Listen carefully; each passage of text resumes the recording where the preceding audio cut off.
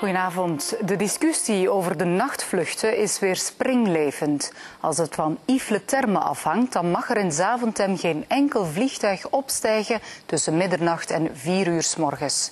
Zo'n verbod zou een streep zijn door de rekening van courierbedrijf DHL. Nachtvluchten zijn voor het bedrijf essentieel. Ze schrappen kan banen kosten. Bram Kalles. Ongeruste DHL-arbeiders komen samen op de luchthaven.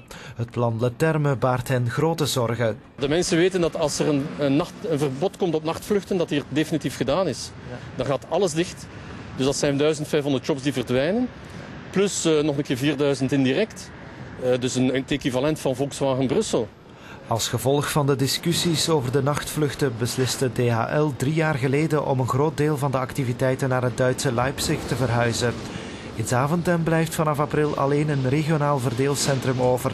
Maar ook dan blijven nachtvluchten essentieel voor de werkgelegenheid. Het is dus ongehoord dat blijkbaar zogezegd iedereen uh, geconsulteerd is vooraf.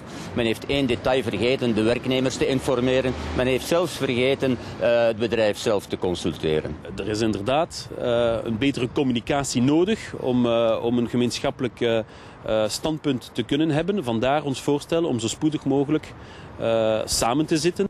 Yves Le Terme is vastbesloten om de stille nacht tussen middernacht en vier in te voeren. Als het moet, geleidelijk. Begin volgende week starten de onderhandelingen met DHL.